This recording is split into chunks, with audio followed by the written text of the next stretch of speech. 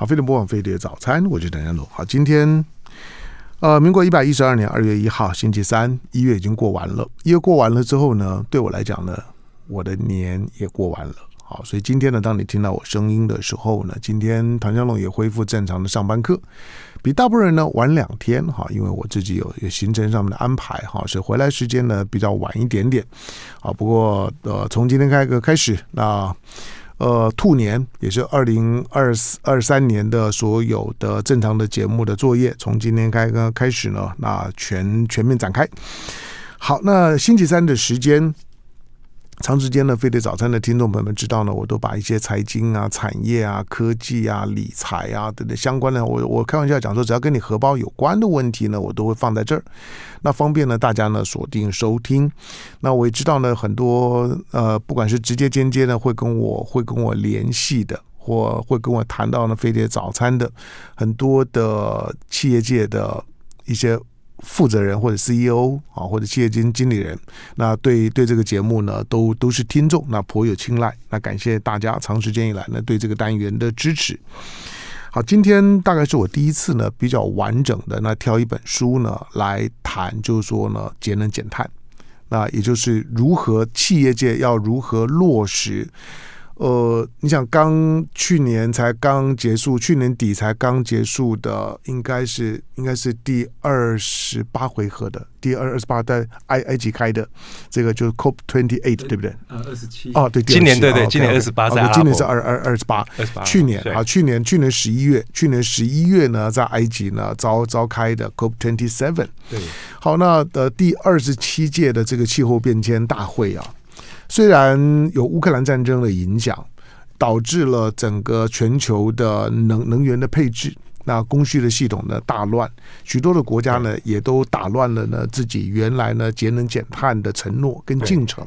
对，好了，甚至于大家开始怀疑，就是说呢节能减碳的这条路啊，就是说呢对抗气候变迁的这条，算是全球治理当中的核心议题。到底还能不能走得下去？还能不能走走多远？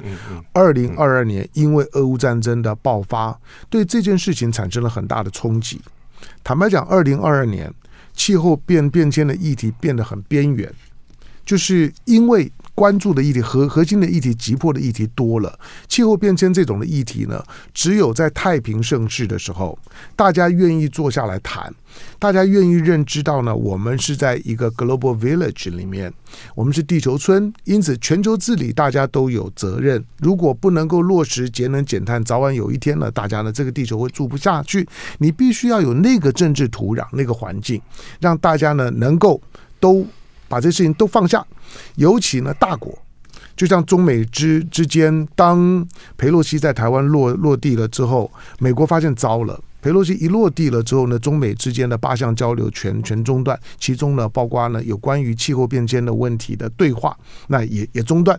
现在虽然呢，十一月之后呢，陆陆续续呢都恢复了，可是我说二零二二这一年，即使在埃及开了会，可是。整体来讲，我觉得二零二二年被浪浪费掉了，甚至于有关于就是说呢，节能减碳的全球的碳管这件事情是在倒退的。对对，呃，尤尤其在欧欧洲，那个倒退的现象是非常的明显。原来都对对于就是说呢，节能减碳的承诺都开始打折扣，煤也回来了。大家都觉得先过过日子再再说吧，管你这么多。好，但是它终究是一个全球治理的严肃的课题。当这些呢突发性的事件呢慢慢的淡去了之后，大家还是要回到位置上面，拿出自己的负责任的态度。那来共同面对这个跟每个人都攸关的议题。好，那有关于呢节节能减碳的行动计划，我说了，我在我手上的这本书呢，对我来说是，呃，在过去过去谈了新闻性的谈论，对我来讲当然是基本功。可是要如何能够能够落实 step by step，能够呢落实？就是说呢，节能减碳的这个行动行动计划，我手上的这本书呢是天下文化出版，天下文化是远见的系统，那它叫 OKR 实现了近零排放的行动计划。作者呢两个人，一个呢是 John Dool，还一个是呢呃 Ryan 呃呃这个这这名字印印度裔吧，这个这我就就就就不会念了。Ryan 好，你叫 Ryan 就就好了。好，那 Anyway 呢，主要的作作者呢是这位呢 John Dool。好，那呃我看了一下呢他的。他显然对于气候变迁呢，他自己是一个创投家，对。但是从一个创投家的角度来讲呢，那当然从一个创投家的角度来讲，什么东西都都有，都有都都给投资，什么东西呢都有对钱钱钱赚。好，那因此呢，这个 John Doerr 呢就就针对呢有关于碳排的问题，讲述了他自己。他为什么开始关切这个议题？当然，大部分啦会开始呢关注这个议议题呢，跟呢美国的前任的副总统那高尔。那高尔的这个就正负二度 C 的那支影片，他之后也拿到了，就是说呢诺贝尔奖。那那个时候呢，开始意识到，就是说为什么我们周围的环境，地球越来越热了，会有什么影响？这件事情大家成为高度的关注，大概都从那个时间点开始。可从那个时间点，你今天回头去看，一晃眼二十年也快要也也快要过了。我们到底做了什么？我们还能够做做些什么？那有关于现在的碳管制，虽然之之前俄乌战争之前呢，大大家呢都好像呢已经雷雷厉风行，我也不断的在提醒台湾的政府。部门，台湾自己的碳排人人均碳排比例非常高，都在全世界的前前几名。对第二个，台湾的企业界，以我访问过的情况来看，对于接下去的全球的碳排，对于台湾的经济跟贸易的影响，我认为准备是非常不充分的。好，因此呢，这这本书呢，或许对的对大家呢会有启发性。来，今天呢为大家呢导读这的这本呢 OKR 实现了近零排放的行动计划。那这这本书很值得一读，因为它已经把相关的议题呢尽可能的口语化，尽可能的科普化，重点的部分来讲呢红字标注，好，这个呢读起来呢会轻松很多。好，重点是谁来为大家导读这这本书？来介绍我们的来宾，今天在我们现场的国立台北大学金融与合作经营学系的教授，他同时也是呢国立台北大学的主秘，对不对？对对，好，那黄启瑞黄主秘，欢迎。耶，谢谢他香龙哥好，各位观众朋友，大家好，大家早安。早安，早安。好了，我哎，我先问，就是他们为什么会请你来导读这本书？哦，好，那是这样哈，因为我们台北大学有个团队哈，嗯那我们商学院在这个呃，不管是排碳或 ESG 实现企业社会责任这个部分，那我们一起研究已经十几年了哈，组成一个团队，那也也协助我们的这个呃主管机关，包括金管会、交易所哦、指数公司，还有我们的一些金融机构啊，做了很很多这方面的研究。哦，那像全国的这这个责任永续投资调查，哦，我们也是呃这个国泰金赞助我们台北大学在做这个全国性的研究哈。那本身我我是这个计划的计划主持人，嗯那所以我们在业居这个领域也长期跟天下远见有一些合作哈。那这本书啊，曾经啊、呃我们台湾的这 Dell 电脑哈，嗯那这个廖仁长总经理啊，他本身就是 OKR 的实践者，哦，他非常非常喜欢 OKR 这一套逻辑跟这一套方法哦，方法论。那所以呃，这个天下远见曾经就邀请我这个。帮 Dell 电脑，哦，在去年九月份的全国，哦，他们有办一个全国资讯长会议，大概一百多个全国的这个资讯长一起参加，那就是以这本书为主题，哦，那这本书我去帮他们也做过一次导读，哦，那现场大概大家对这个书里面的一些想法跟理念啊，跟具体作为都非常响应，非常热烈啊，我想可能是这样的原因啊，他们推荐我来跟在上香老哥的节目来分享。但我们我们的我们的重点还不在于就是说只是介绍书哈，书只是说让大家呢，如果要比较完整的，就是说呢理解，就是说透过 O OKR 去实现呢近零排放，要要怎么做？不过重重点呢，就还是在一个在一个近零排放的，就是我们如何去因应未来早晚它会成为一个全球性的。全球性的体体制吧，对我我认为碳管制呢，它必然会落实到一个全球性的体制。那不同发展水平的国家会给会被课以不同的责任，对不同的碳排水平的国家会被课以不同的责任。对，那这也成为呢每年的 COP 在在开会的时候呢，大家呢大家会会会争辩讨论，或者说呢在国际政治的当中呢会角力的重点。不过它终究是还在朝着那个方向走。对，现在对大国政治来讲，在我们所谈的全球治理里面来讲，这可能是最核心的课题，或者说应该是好不容易最有共识的课题。对，就是大国普遍认为，就是说我们必须要落实碳管制，对而且要带头做。何况今天地球上面绝大部分的碳，因为二氧化碳一旦排出之后，它在我们的大气层里面呢会停留非常非常久。对，其实它不容易消失的。非常不容易消消失，跟甲烷及气体非常不一样。甲烷虽然它也许温室效应温温室效应的效果更好，对不过它的存留的时间不会像二氧化碳的这么久，所以我们每天呢在吸入氧气、排出二氧化碳，其实不知不觉当中都在制造温温室效应。不过人呢还是小小事情了。来，我要进到广告，广告回头之后呢，我们从头谈起。就这本书呢，对于企业界来来讲，我们简单的导读，让企业界知道，就是说你现在必须要开始做做准备。原来没有概念的，你要有概念；原来已经有开始准备的，你要开始呢加速。那加速该怎么做才能够落实？广告回头之后呢，继续请黄启瑞老师呢为大家导读。啊，非常不枉飞的早餐，我是谭家龙。好，今天的节目呢开春之后哈，就是我回到回到工作岗位的第一档的节目。那这个透过这本书好，那 OKR。OKR 呢，实现净零排放的行动计划，重点是行动了，你必须要有 action 啊。大家设定了目标之后，但是如果尔虞我我诈，像是在 COP twenty six 之后呢，其实过去的一年的时间。呃，大国定了目标，但是呢，因为俄乌战争的发生了之后，其实大家呢也都推拖拉，对，其实该落实的都、都没有没有落落实。对，严格讲，从一个就是说呢，要控制碳排的角度、碳管制的角度来讲，二零二二年是被浪费掉的一年。对而且还倒退对。好，那在我们现场呢，为大家导读这本书的国立台北大学的金融与合作经营学系的教授黄启瑞黄教授黄博士，他同时也是呢台北大学的主任秘书。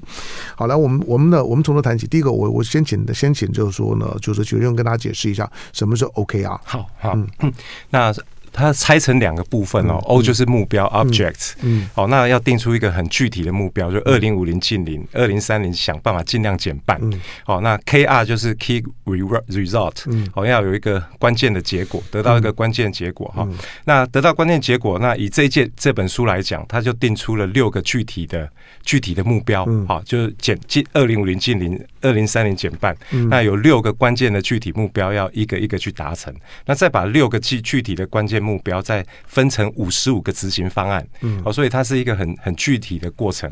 哦，那具体目标它也把它算得很清楚，就是五百九十亿吨的二氧化碳。哦，那五百九十亿吨要透过六种方法。哦，那当然前面要先找出原因，这五百九十亿是哪哪哪哪五大部门？嗯哦，那把这五大部门再拆解成六种方法。好，那一个一个去把它排除，所以这是它整本 OKR 的核心。哦，透过奠定具体的目标，然后呢，找出具体的哦具体的关键的结果，哦，然后再去演你具体的行动方案。那整个精神叫 OKR。好，从从高尔的正负二度 C 到现在，对，我们在有关于碳管制上面有哪些具体的进展？呃，如果从这本书来分析哈，我就直直接切入这这本书的角度哈。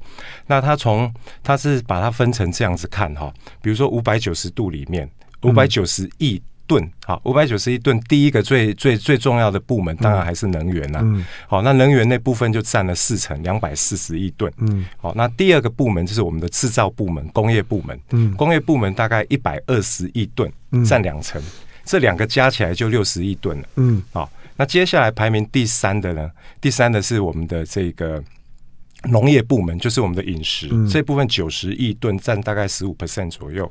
嗯，好，那排名第四就是我们最熟悉的交通。交哦，交通嗯哦，电动车等等，哦，那那部分大概八十亿，占百分之十四。哦，那剩下就是我们自然界原本的嗯百分之六十啊，百分之十六十亿吨本来就有的自然的排放。嗯哦，那这二十年里面啊，他也在看，哦，他就在看说，那这二十走到现在，我们在这个这个五大部门。大概执行到什么程度？嗯好、那接下来在剩下为期不多的时间里面呢、啊，哦，要怎么样把这个这个五百九十亿吨在这几个产生的原因的部门里面全部抵消掉？哦，比如说最多的能源两百四十亿，要怎么样到两百一十？嗯，好、那呃，他他他把他想说，我六两百四十亿，我要减掉两百一十，那当然还有三十亿减不掉的，那最后的一些尾数减不掉的，哈，比如说工业部门一百二十亿吨也没办法完全减掉，好，它最多只能到两百五十。减掉八十亿吨，还剩下四十亿，又流到后面去了。好，那农业部门也一样，交通部门也一样，各大概二十亿吨都都都没办法解决。最后流到最后的部分，就是我们去富裕森林，爱地爱我们的大自然环境，保育我们的森林，保育土壤，保育海洋。好，那可以救回四十亿、七十亿。哦，那剩下最后一百亿怎么办？哦，那些尾数，哦，那只好透过到时候啊，呃，二零三零年以前的既有的技术，还有二零三零年以后新的技术一起努力。哦，那再把透过这个自然的、自然的移除碳，嗯，还有高科技的移除，把那最后一百亿全部移掉，在二零五零年以前。那回到主持人刚刚讲的哈，那到底这这段时间做了什么？他其实书上分析的非常细，对，嗯，比如说。如果用能源，我们看最多的能源部门跟交通部门这两块的话，那能源部门他提出一个观点了哈，就是呃这个。这个他把能源的那一块再拆成很多细项哈，那我就只讲其中几个比较重要的。他比如说他讲到这个呃无碳能源的部分，哦无碳能源的部分有长足的进步的部分，其实我们看到大部分都是产业部门的哈，产业部门自己的努力，包括太阳能跟风电，嗯，好那风电又拆两块，一个是陆陆上风电，那成本本来就比较低，好，可是台湾没办法用哈，那另外一个是这个海上的，好那离岸的风电的部分的成本啊，好它有在统计十年，就从二零一零年到二零一九年这十年的变化，哦，那就发现说这个学习效益的部分啊，排燃煤的部分都没有动，哦，就大概呃，因为他用一千度当做单位，每一千度多少成本的电的要要花多少电费去买，哦，那如果是燃煤的话呢，十年前是一百一十一块。好，现在一百零九块美金，嗯，每每每每一千度，所以没有什么变化。哦，但是如果是看太阳能的话，从三百八十七块美金已经降到哦，已经降到大概六十八块美金左右哈。那那降了非常多。那如果离岸风电的话，原本大概一百六十几块美金，好，现在大概也降到一百一十五块美金。所以这个就是一个能源上很大的突破哈。那所以他定了一个目标，希望。再往前推进，二零二五年的时候，我希望这些再生能源的的这些性价比，嗯，好，可以跟燃煤的一模一样，嗯，好，那一模一样的时候嘞，他就在定一个目标，就是说，那大家一一起往这个方向努力哈，那希望可以把进一步把这个再生能源的比例啊，好，从二零三年希望就是可以可以慢慢到。到到一半以上，嗯，好，一半以上。那到四五年的时候，可以占到再生能源的比例，可以到百分之，比如说九十或九十五以上。哦，他就定类似这样的目标。那交通也一样。哦，交通的部分呢，呃，这个电动车这这技术啊，这几年也有很大的突破哈。那他就希望说，呃，这个产业的科科技的部分呢，性价比好，在美国现在大概性价比已经是在拉近了哈。过去电动车一部，它就以以这个这个这个 Camry 好，在美国一台大概比如说。大概一百块台币左右，哦，那电动车同期的 Tesla 可能要一百五十块台币折台币，哦，那还有一段差距。那希望它这个差距呢，它是立的目标是二零二四年，嗯，这两个边的性价比一样，嗯，哦，那这个。印度跟中国稍微慢一点，那他们也希望在二零三零年可以性价比一样。嗯，那当它性价比一样的时候啊，好，这个这个量就可以大量的去去突破。电动车的价格优势就对对对，那就希望说全全世界的轿车在二零三零年就可以达到每两部车有一部电动车。嗯，好，那所以不我们看得出来了哈，大部分向荣哥这边讲到的这二十年来的进步，我们看到大部分都是产业的进步。是，好，那政府大概就是。定一些法规，定一些配套，让企业的技术好，让民间的力量可以跟上。嗯，好，那如果是谈过去的二十年，看到是这样的变化。好，当对台湾来讲，我们我们基本上我们并没有什么自自产的能源，好，所以呢，我们本身选择的能能源形态九十八趴进口，影也影响就就非常非常大。对。那不管怎么样，我们现在我们现在绝绝大部分的 绝大部分使用的电力都还是靠靠靠靠烧的，不管你是烧烧煤炭、烧天然气，或者对八八成以上，甚至还有一小部分烧垃圾。好，那就是说，所以呢，就全都是用烧的，烧的任何烧了的东西，大概呢都一定会有碳的碳排放多或者少的问题。所以，我们现在的能源的使用的一些形式还大有问题。对，那你说不管是太阳能啊、风电，它有它有季节性，它不稳定，不不不不可靠，价格偏高，这些呢大家也都耳熟能详。但是，另外现在呢，在在有关于呢，有关于就是说呢，节能减碳的这个概念，尤其要控制碳排的这个概念起来了之后。另外一个一个在能源形势上面比较大的改变呢，就就是核能从重新被被注意。对，可是，在台湾，它它却成为像是个禁忌一样，没有没有没有办法谈。对，这个当然是可惜的。好，不过这这不是我们今天谈的重点。以后我我希望我们的政治人物跟政党能够把意识形态放一边，对，能够认真的跟得上趋势的，好好的检讨。因为有许多的核能论述都非常落伍了，对，非常非常落伍，每天都把核能讲得非常的恐怖。可是今天，当年欧盟大部分的国家都认为，今天如果要要控制碳排，核能是必要的选选项。甚至于呢，很多国家像是韩国都已经在增加它的核能的配置。台湾在这方面的落伍，将来会影响到你的总体在这方面要达到的目标。你的 O OKR 呢，这个要达成的难度呢会很高。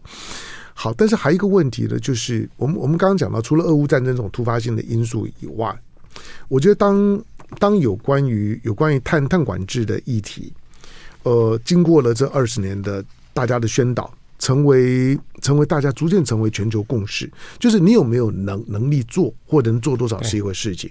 可是大概没有人会去质疑，就是说，呃，碳温室效应对于地球的环境、气候的干扰跟破坏，已经危及到人类的生存。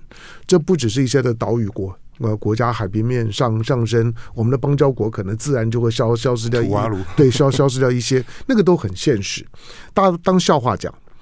但是气候变变迁呢，在每个地方的极端气候。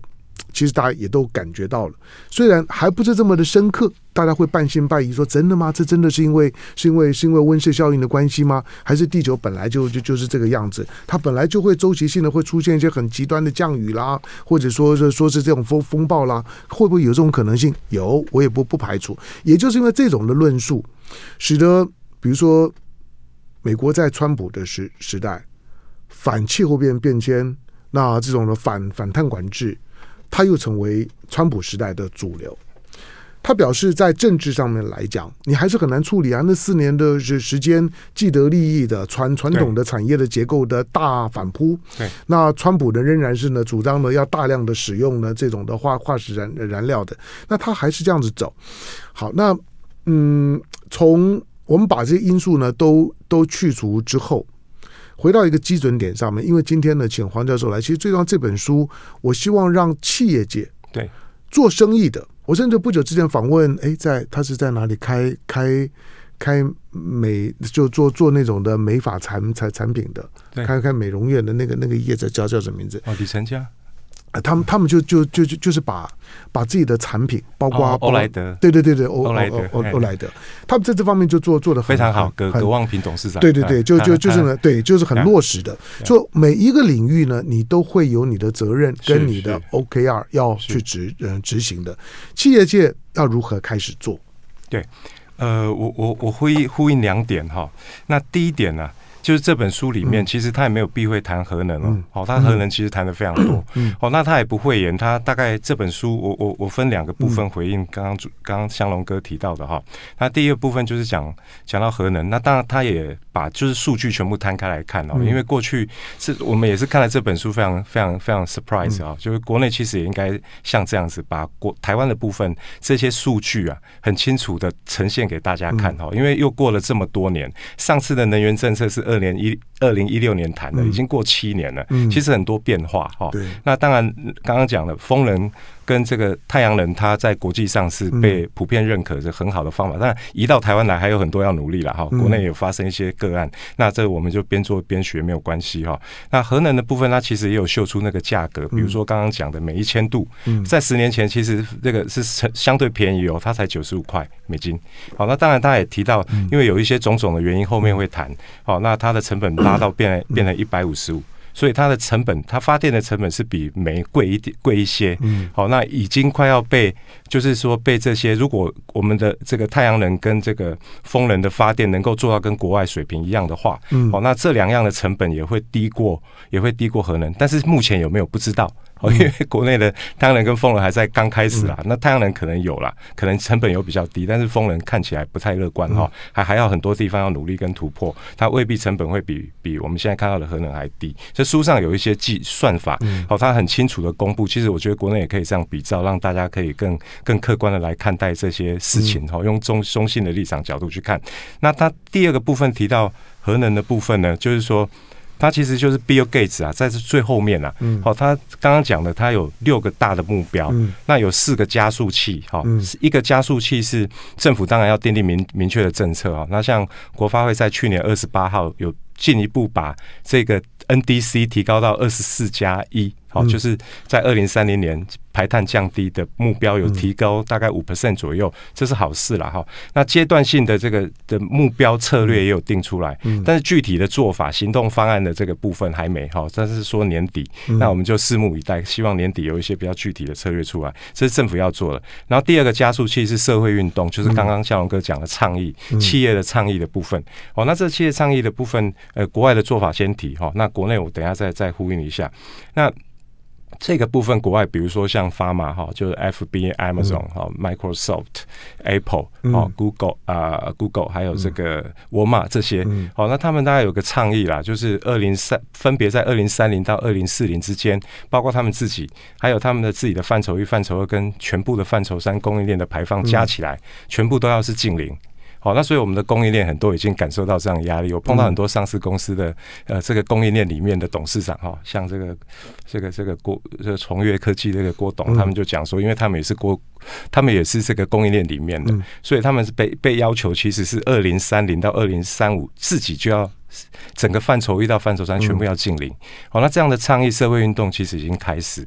好，那再看看我们国内的永续金融的部分，其实走的算不错。我觉得我们永续金融蛮落实，走的很前面哦。那主管机关很重视，那我们自己的金融机构在这方面表现也不错哈。那就比如说像我打个岔，什么叫做永续金融？对于这种的这种服务业啊。的永续的概念，对，尤尤尤其跟气气候变迁关系，是是，一般人比较不容易很大关系很大，可以解释一下。对，那在书本上这边也有提到哈，就是刚刚讲的加速器，我刚刚已经讲了两个哈，那第二个是社会运动，社会运动其实就会结合到第四块的投资。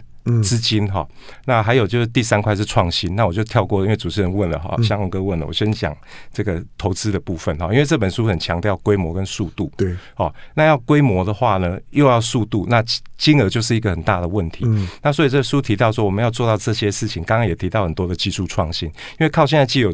的技术不可能，既有的技术顶多在二零三零减掉四十帕已经很厉害了。那如如果要未来二十年要把剩下的，好这个不管是五十帕也好，六十帕也要减完，一定要一半以上要靠新的技术。好，那现在技术怎么来？要钱。嗯，哦，没有钱，什么事没办法做。哈，那钱从哪里来？就是最后一项投资，那就是永续金融的角色。哦，所以永续金融扮演很重要的角色。书中也有提到啊，哦，如果我们用金额去算的话，全球大概一年。哦，Glasgow 的这个二 COP twenty six 就已经有大概估算过哈，那每年要投入的资金，光光是创投的这种资金进去，至少要一点七兆美金，嗯，哦，一点七兆美金才够，那需要很大的规模。那金融业就在这边扮演很重要的角色，有两个哈。那其实这国际上也有很多研究发现啊，这些近年要完成它。里面的贡献的力道啊，肖朗哥可以猜猜看，观众可以、听众可以猜猜看哦。金永续金融在里面扮演的角色大概百分之多少？好，那根据国际权威机构的推断，这里面如果没有金融业在里面发扮演角色的话，它能够实现只有百分之六十。剩下百分之四十其实都是金融业在后面的 push 哈，所以主管机关为什么这么重视？今年开始要做永续金融评鉴哈。那金融的角度大概有两两个两个部分，好，一个部分就是我们最熟悉的永续金融的投资，嗯，好，那投资的部分如果用国内的角度理解比较容易的话，好，那大概我们国内最大的这一些可以投入资金的单位，好，就是包括我们的四大基金，包括我们的呃投信投顾。还有包括我们所有的保险公司、寿险、产险，那当然银行或金控也会有一些投资部位，哦，它可以去做这一方面创新这个洁净能源的投资，哦，比如说刚刚之前讲的风能、光能，这些都需要金融业的投资，还有融资。嗯，第二部分就是融资哈，投资是建直接投资，我钱就给你，我当股东，哦，我当股东。那第二种的话是融资，嗯，哦，那像我们这些很多动不动风能发电光，尤其是风能那个。都是几百亿、几百亿，要银行的融资，没错。哦，那这部分永续金融就扮演重要的角色。如果拿不到钱，这些事情通通没办法做。对，所有的环环保的行动啊，在在过去讲，可能大家不太容易理解。但是刚刚呢，经过呢黄黄教授解释之后啊，我想大家就比较容易懂。为为什么过去我们讲环保？环保是是有钱国家的游戏，就是因为它必须要一定要有相当程度的技技术。跟资金，它既是呢技术密集，它也必须是资本密是集。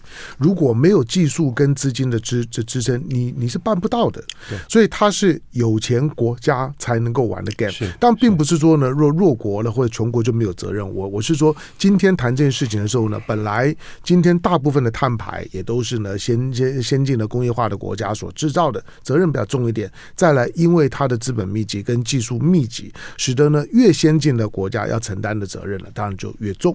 好，我再进一下广告，广告回头之后呢，还有一点点时间，那继续呢，请呢黄启瑞教授呢跟大家呢解释一下。那如果回到回到最个别的企业来讲，如果原来呢没有没有跟上脚步的，那现在呢有意识到，就是说呢，其实这种碳管制呢会无孔不入的对所有的企业大概呢都会有影响。那要怎么样起步？来进广告回头聊。好，飞碟莫网飞的早餐，我是谭家龙。好，我我觉得呃，不管企业界的朋友或者关注这个议题的朋友，他终究是未来的国际政治当中。跟传统的政治啦、经济啊、军事啊这种所谓的国际政治的课题，不直接这么的相关，但是它是未来每个人都必须要能够参与讨论的议题，因为跟每个人都都相关，就气候变迁的议题，它是现在关乎到全球治理，让大家最有感的。每个人呢都应该呢有态度，也都应该呢要有一个一个参与的立场跟角度。好，当然牵涉到大国的时候，那开发中国国家有开发中国国家的集体的的态度，觉得今天地球会搞成这个样子，是你们这先进工业化国国家所造成，你们要承担比较多的责任。可是要承担责任就要就要钱。讲到钱的时候呢，其实去年我想媒体也处理过，就是在在在在这 COP COP twenty seven 的时候呢，那些资料也都已经公公开了。大国在兑现承诺上面，美国表现极差。对，那个兑现率极差。对，换了即即使是你拜登在执政啊，理论上这应该是你都已经到了埃及去去参加会议了。可是你即使是民主党在在执政，那碰到内内部有疫情的时候，就发钱印印钞。可是要兑现这种呢，你所谓的核心的全球议题的时候，你的兑现率非常非常差，反而是欧洲国家啦、法国这些国国家兑现自己的承诺的比例呢比较好。是好，因此政治人物讲一套，你要你要逼他去落实，尤其是大国强国要落实，难度呢是很高的。好，我们刚刚讲的就是说，如果按照呢二零二零三零年。二零三零年，中国大陆所设定的是二零三三零年的时候呢，希望能够碳达峰，对不对？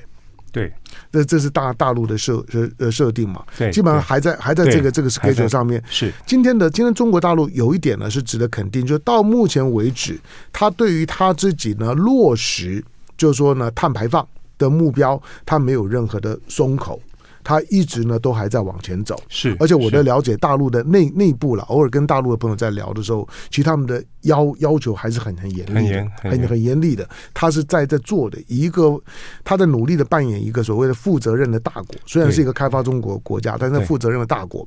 好，回到台湾，台湾我们刚刚提到就是说。台湾人其实在在这方面，我觉得觉知的能力还很低。虽然我们的人人均的碳排在全世界的前几名，对，其实是表表现是很是很差的。那我们似乎不同党，但是也都在能源能源这政策上面呢，也都有一些的讨论。可是我觉得讨论很容易受到意识形态的牵引。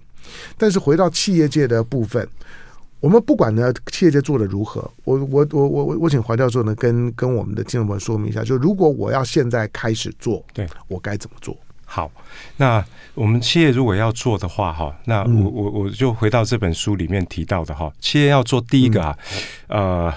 我我我可能分先分几个类别哈，嗯。企业当然，如果以上市贵公司来讲的话，因为主管机关这几年都有定很多要求哈，嗯。比如说呃呃呃这个这个减碳路径图哈，主管机关去年三月份定的，那就要求我们所有的上市贵公司最慢在二零二七年嗯。要完成所有的碳盘查，嗯。好，那再加两年，二零二九年要完成第三方查证，好嗯。验证。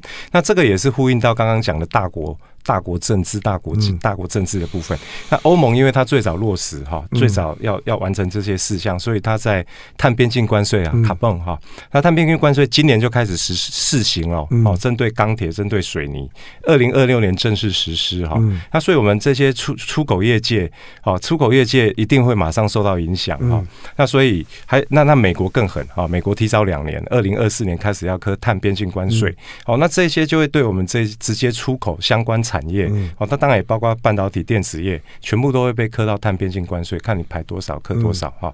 那这个影响冲击很大哦，所以主管机关才就一路要求过来，就是我们尽快完成碳盘查。嗯，好，那这个这个，所以企业要怎么做？第一步，好，如果当然我们的走的比较前面的这些上市贵公司，大概都已经盘完了，或者陆续在盘。好，那范畴一范畴比较简单了，大部分企业可能上市贵公司盘完了哈，那现在在整理这个。范畴三的部分哦，因为整个供应链的的生产的体系的那个盘查要盘比较花花时间。那中小企业如果是在我们讲到了这些大型的上市贵公司供应链里头，他们现在也也很，也就是也很也很开始在做这些碳盘查。哦，所以第一个就是要赶快把。碳盘查先盘完，哦，那盘完之后才接着就开始采取具体行动去减重，嗯。哦，那那当然就是要把自己最可能的最大的这些排放源先盘出来，好，那那盘出来之后再来演你具体的方式，看看那这些排放源怎么样去一个一个把它减下来，嗯，好，那当然相关的这个这个。公司规模越大的哈，那它需要有一个比较完整的体系啦哈。比如说主管机关现在有谈到，哦，我们要用一个呃，除了我们过去用 GRI 联合国的这个永续揭露准则的报告的方式去编的我们报告书，好去算我们这个碳盘查以外，我们也要依据啊，哈，比如说像现在有个 TCFD 气候相关财务揭露，它有一个治理架构。哦，把公司把自己的这个气候治理架构建立起来，嗯，好，那根据这样的气气候治理架构去好好好去管理自己的这个这个碳盘。好，气候变迁的相关课题。那这个部分，我们上市贵公司大部分大概三百多家也都有了。哈，那还没有的，现在陆陆续续在做。主管机关对上市贵公司这部分大概有很多的要求，也有很多的辅导啦。嗯，那上市这个如果是在第二层，就是我们的不是上市贵公司，但是是我们上市贵公司供应链的比较大型一点的的这个中型企业。哈，也建议可以采纳哦这样的方法，类似像 TCFD 这样的一个气候变迁治理架构去推。那如果规模再小一点的哈，我们会鼓励。当然，就呃，这个政府有在协助啦。那有一些金融业界，比如说玉山银行哦，他们还成立一些呃一些一些机构哈，成立一些专人去辅导他们的放款户，如果还没编报告书怎么编哦？那汽油管理怎么管理？他们有个小组，还会去协助中小企业去做这些事。那当然，主管机关也有在做哦。那也请这个经济部相关单位啊、工业局等等，也编了很多辅导小组，在辅导中小企业，甚至有些地方政府，所以你是可以主动的跟政府求求助的，对对对对，政府的。帮助跟指导，赶快去做判盘查。嗯，对。好，那呃，我们回头看，就是说呢，现在的现在全球对于温室效应的这种的集体的态态度，什么时候会会对于就会会在会在贸易上面会产生影响？就是会会开始因为你不达标，会成为你被贸易制裁的对象。快的话，其实今年就开始了哈。欧盟已经在试试 try 了哈。那最慢的时候应该是美国，二零二四年连美国都上路了。好，那预估中国大陆可能也会采行类似的做法。嗯，好，那这这这这些如果来的时候速度都很快，所以所以越早越早开始及早应应是越好。嗯，对，因为那个单边关税每个单位，好，它根据你的每个单位产品的排单量去克。嗯，好，那克下来的那个金额会非常惊人。哦，那刚刚也有讲到另外一个，我们现在虽然有在克碳费。好，现在即将要上路了。好，那碳费就可以去折抵这个、这个、这个碳边境关税的部分。好，不过我们碳费目前的这个定价的部分是十块钱每一公吨，呃，排放是大概十块钱美金。嗯，好，那这金额其实不是很高啦。那能够去抵边境关税的部分有限。嗯，好，所以要做的事情其实还很多。嗯，好，当然它会衍衍生出一些。一些问问题了，包括在政治上面的既得利益的反反扑啊，那传传统的产业，这在美国啦、欧欧洲都有，尤其在在美国。第二个就是说，当我刚问的最后的那个问题呢，一旦开始逐步落实了之后呢，绿色通膨的影影响呢，会会会变得很很很明显。这个是呢，今年以后。大家都要留意的，就是你个人，你或许无能我为力，你也你也不知道怎么去面对。但是我说总体来讲，从国家治理或者企业经营的角度来讲，绿色通膨呢，有一段时间会变得非常的明显，一直到大家都调整都能够适应为止。好，这个呢，都都是接下去呢会发生的问题。好，但是基于地球本身的总体的环境跟气候的管控，那这条路呢是一定会会走的。全球议题呢，虽然没有一个够强大的超国家组织。可以去呢，就是说呢，呃。一言九九鼎的去推动，不过大家看起来都还是在默契上面，尽可能的去去去去一起呢往前落实。不过二零二二年呢，因为一场的俄乌战争呢，就把全球的能源配置呢都打乱。它最大的影响就是天然气。欧洲呢，欧欧洲本来看起来跟俄罗斯关系如果好，俄罗斯的天然气的管线供应，那个呢更要符合他们的。其实真正对欧洲来讲，就是让它在能源的需求上面呢，在碳的碳的这些呢。这些的标准上面比较容易达标，但现在当俄乌战争发生了之后，天然气管线断，它需要天然气啊，它它就只好买 LNG，买 LNG 呢成本就高高高很多，这个呢在在所有成本的计算上面来讲，影响当然就很大。那如果一个小小的，我不能说小小的乌克兰了。对了，它它人口是台湾的两两倍，面积是台湾的台湾的台湾的十六七倍。对，好，但但是它的经济在地球上影响力跟台湾不能相提并论。你想，台湾如果发生在战争，那会是怎么样？那个呢，影响就更大了。尤其大家没有留意到的，两岸如果真的在台海地区如果发生军事冲突，台湾是许多跟气候变迁的有关的产业的零组件。的主要的供应生产的基基地，在这个产业链里面，一旦中断了之后，这个议题不知道又会被拖多多少年。所有的政治、经济、军军事，其实呢，都跟了这样一个全球治理的议题呢，都会相关。不过呢，这个呢，并不是呢个别的企业呢需要去特别关注的。这本书呢，可以当做呢我们的企业界或者一般民众理解今年以后全球呢对于呢碳排放。的这种的推动的进程，以及要如何落实成为一个行动电呃一个行动计划，这本书呢可以当你的 guidebook，因为作者本身他就是一个创投家。那作为一个创投家的角度来讲，我会觉得比我过去看过的。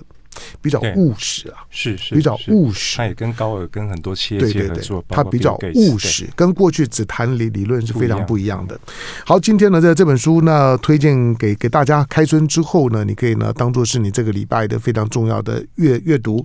OKR 实现了近零排放的行动计划，作者呢约翰杜尔 John Dool） 还有另外一位呢莱恩潘查萨拉姆，好，这是印印度裔。好，那这个天下文化出版，感谢今天到我们现场为大家导读这本书的。来宾，那国立台北大学金融与合作经营系的教授，同时也是呢台北的国立台北大学的这个主任秘书黄启瑞呢黄教授，欢迎，感谢，谢谢向龙哥，谢谢各位听众朋友。下回呢相关的议题呢再麻烦来我们进广告，广告回来做新闻。